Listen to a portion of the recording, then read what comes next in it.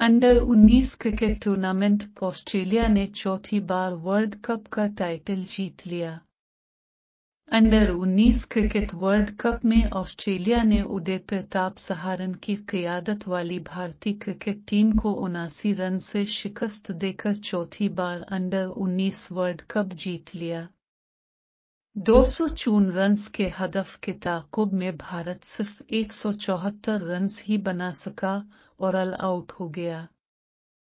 आदर्श सिंह, सैतालीस, मोर्गन अभिषेक, बयालीस और मुशीर खान, बाईस। के अलावा कोई और बल्लेबाज ज़्यादा देर तक खड़ा नहीं रह सका।